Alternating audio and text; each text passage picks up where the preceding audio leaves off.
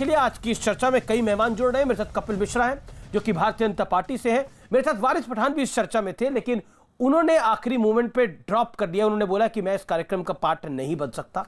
मेरे साथ इस चर्चा में सुबुही खान है, मेरे साथ शदाब चौहान है। इस चर्चा में जो कि पीस पार्टी शांति वाली पार्टी से है। मेरे साथ इस चर्चा में फिरोज भक्त है जो कि शास्त्र है मनु के। आप तमाम लोगों का स्वागत है। मेरे साथ तस्लीम रहमानी भी इस चर्चा में जुड़ेंगे उनका भी अभिनंदन है। मैं सबसे पहले शदाब चौहान आप ही का रुख करता हूँ और पचास सेकेंड के अंदर आपसे जानना चाहता हूँ जो नारे लगे वो गलत थे लेकिन उन नारों को पब्लिसाइज करके उन उन, उन नारों पर सियासत करके क्या हासिल हो जाएगा? अमीर जी जो इस देश की किसी भी कम्युनिटी को ये गाली देकर नारे लगाते हैं वो देश के सबसे बड़े दुश्मन हैं। आईसिस से ज़्यादा खतरनाक ये आतंकवादी है जो किसी जाति के नाम का धर्म का नारा लगाते हैं। हमें याद है जब 1990 में वो बड़ी बड़ी तकरीरें चौराहों पर लगती थी जो नहीं राम का वो हराम का मुल्लाओं के दो स्थान शमशान या जी आपका ऑडियो देखिए कट आपका ऑडियो कट गया है मैं सीधा रुख करता हूँ कपिल मिश्रा का इस चर्चा में।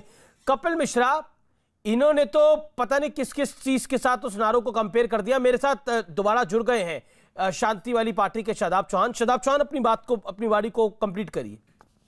क्या क्या अमीर जी मैं हमारा मानना यह है कि अगर कोई मर्यादा पुरुष श्री राम के बारे में अगर किसी ने आपत्तिजनक टिप्पणी की हम उसके भी खिलाफ हैं। लेकिन इन नारे ये नारे सदन के 100 मीटर दूर लगते हैं। इसका मतलब कोई आतंकवादी आकर के हमारे प्रधानमंत्री पर हमला कर सकता है।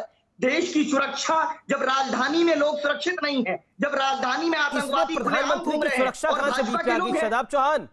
इसमें प्रधानमंत्री की सुरक्षा कहाँ से बीच में आ गई? अभी आप कह रहे थे देखिए ये लोग आईएसआईए जो नारे लगा रहे हैं वो आईएसआईएस से भी खतरनाक है। आ, मैं कपिल मिश्रा का रुख करता हूँ। कपिल मिश्रा क्या अश्विनी उपाध्याय आईएसआईएस से खतरनाक लोगों को उन्होंने इस कार्यक्रम में बुला लिया था जो बात शदाब चौहान कह रहे थे? सबसे पहले तो अमीश भाई मेरे को बड़ा दुख हो रहा है ये वारिस पठान कहाँ भाग गए? मैं तो उनसे बातचीत करने के लिए आया था लेकिन मेरे को शक था कि कार्यक्रम शुरू होने से पहले वो भाग ही जाएँगे। और वैसे ही हुआ है, खैर, कभी कभी ना कभी तो सामना होगा। और वैसी का, उनके भाई का कब तक भागते रहेंगे। जहाँ तक ये अश्विनी उपाध्याय जी की बात है, अमीश भाई, पूरा देश जानता है अश्विनी उपाध्याय कौन है। भारत के सुप्रीम कोर्ट में 101 जनहित याचिकाएँ दायर करने वाला वो व्यक्ति जिसकी कोई भी जनहित याचिका आज तक रिजेक्ट नहीं हुई है।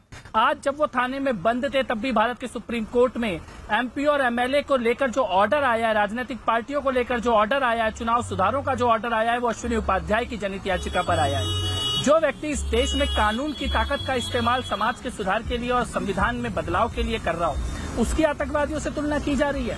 अश्विनी उपाध्याय का पूरा भाषण मैंने सुना है, जो जंतर मंतर पर उन्होंने दिया। उस मंच से हुआ हर एक भाषण मैंने सुना है। ना अश्विनी उपाध्याय ने कोई भड़काऊ बात बोली, ना उनके कार्यक्रम के मंच से कोई भड़काऊ बात बोली गई है। दस बजे का शुरू हुआ कार्यक्रम साढ़े बारह बजे खत्म हो चुका था। लोग वहाँ पर जा चुके थे। उसके बाद शाम को चार बजे मंच जहाँ था उस जगह पर भी नहीं उससे कहीं दूर। दस लोग खड़े होकर अगर कोई नारा लगाते हैं तो उसकी ज़िम्मेदारी अश्विनी उपाध्याय की कैसे हो सकती है? कार्यक्रम के आयोजक की कैसे हो सकती है? मैं आज ये सवाल उठा रहा हूँ कि अश्विनी उपाध्याय का कसूर क्या है? अश्विनी उपाध्याय की गलती क्या है? लेकिन लेकिन कपिल कपिल पुलिस ने तो देश पे। उनके लेकिन कपिल मिश्रा कपिल मिश्रा जी पुलिस ने तो छह घंटे की पूछताछ के बाद गिरफ़्तार किया तो पुलिस को कुछ लगा होगा तभी गिरफ़्तार किया गया है? नहीं, मैं तो ये नहीं मानता हूँ कि पुलिस ने कोई ठीक गिरफ्तारी की है, और इसके ऊपर हम लोग सवाल उठा रहे हैं। हम उनकी गिरफ्तारी का विरोध कर रहे हैं। अभी भी मैं पटियाला हाउस कोर्ट में ही जहाँ पर उनके मामले की सुनवाई अभी चल रही थी, फैसला अभी सुरक्षित रखा गया है। और मुझे ये लगता है कि एक एमिनेंट सुप्रीम कोर्ट के लॉयर, एक एक्टिविस्ट जो संविधान की ही बात कर रहा है लगातार, जिसका कोई क्रिमिनल रिकॉर्ड नहीं है, जिसके अगेंस्ट कोई एविडेंस नहीं है, उसको इस प्रकार से थाने में बिठा के रखना और गिरफ़्तार करके रखना, ये दिल्ली पुलिस के ऊपर, उनके कार्य प्रणाली के ऊपर थोड़े सवाल खड़े करने वाली बात है, क्योंकि ये कोई तरीका नहीं है अश्विनी उपाध्याय के साथ करने का। हम इसका विरोध कर रहे हैं। अगर आपको गिरफ़्तार करना है, आप नारे लगाने वालों को गिरफ़्तार कीजिए, उनके वीडियो सामने, उनकी फ़ोटो सामने, कोई उनके नारों का समर्थन नहीं कर रहा है। भारत के कानून के मुताबिक उनको सजा मिलनी चाहिए, लेकिन अश्विनी उपाध्याय को पकड़ लेना, उनको रात से लेकर अभी तक बैठा के रखना उनको अरेस्ट कर लेना। कहीं कहीं से दूर दूर तक जबकि कार्यक्रम के ऊपर कार्यक्रम के मंच में कोई बात नहीं बोली गई उनके द्वारा कोई बात नहीं बोली गई। कार्यक्रम के खत्म होने के बाद चार घंटे बाद कार्यक्रम के खत्म होने के किसी बात के ऊपर आप अगर अश्विनी उपाध्याय को पकड़ते हैं तो ये जादती है। बताइए आप आप बताइए आप शादाब चौहान क्या आपको लगता है कि आप वाकई अश्विनी उपाध्याय का दोष है। हालाँकि पुलिस ने अपने तरीके से कार्रवाई करी है लेकिन जहाँ तक भड़काऊ तंत्र की बात है तो भड़काऊ बातें क्या क्या किसने बोली अगर उसकी तय में जाएँगे तो बड़े सारे मामले खुल जाएँगे। आपका भी मामला खुल जाएगा तब। शादाब। टपकता है। कपिल मिश्रा जी जिनके मुँह से शहद टपकता है जो दिल्ली पुलिस की मौजूदगी में धमकी दिए थे और मौजूदा मिनिस्टर ने कहा था गोली मारो सालों को। इस तरह की बात करने वाले हमें बताएँगे। दूसरी चीज़ मेरे से मैं एक सवाल कर रहा हूँ कि एक हिंदू रक्षा दल का पिंकी चौधरी स्पष्ट रूप से कहता है कि सभी लोग हमारे थे, अश्विनी के हमारे भाई हैं। ये हमारे लोग थे, हमारे बुलाए हुए लोग थे। तो जो ओपनली इस बात को स्वीकार कर रहे हैं जो ओपनली स्वीकार कर रहे हैं उनके बारे में क्यों नहीं कहा जाता? है है। आखिरी पॉइंट मेरा अमीर जी है आखिरी point ten second Kapil Mishra और ये सब लोग वही कर रहे हैं जो आईसिस चाहता है और हिंदुस्तान के मुसलमानों को भगाने की अगर आप सोच रहे हो तो याद रख लीजिए यही जिए यही रहने वाले हैं मिश्रा जी। कहीं नहीं जाएँगे हम। कपिल मिश्रा आप एक धर्म विशेष को टारगेट करते हैं फिर मैं तस्लीम रेमानी का रुख करूँगा। जी।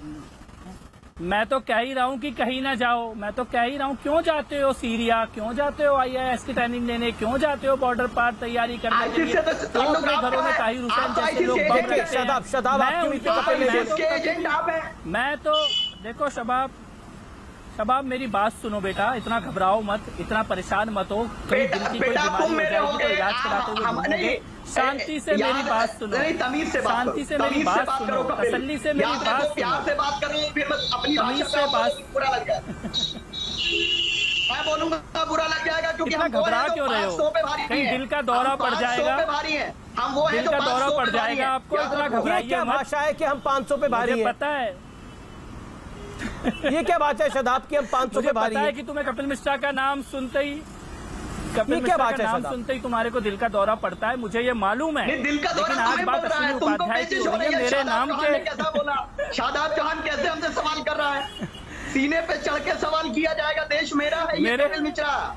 ये देश हमारे बाप की जागीर है हमारी प्रॉपर्टी है हमने खून से सींचा है देश को।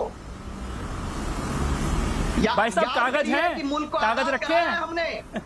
कागज़ 800 साल हैं? हुक्मरानी की हमने। कागज़ है बाप की चलिए आपने देश को तो बाप की जागीर बना लिया लेकिन देश देश देश तो देश की जागीर है। लेकिन कपिल मिश्रा तो अपनी बात को रखे तो तस्लीम की भी इंतज़ार करें। शादाब मैं आपका रुख करूँगा। यही जामा मस्जिद नहीं ना हम जामा मस्जिद पे से जा रहे हैं ना ना जामा मस्जिद यहाँ आ रही है। मुझे लगता है कि विषय पे रहना चाहिए। कपिल मिश्रा आप अपनी बात को रखिए। देखिए, मैं फिर से अमीश भाई ये बात कहना चाहता हूँ कि अश्विनी उपाध्याय, उनके मुद्दे और उनकी बातें बहुत गंभीर हैं। वो जनसंख्या नियंत्रण की बात कर रहे हैं, वो कॉमन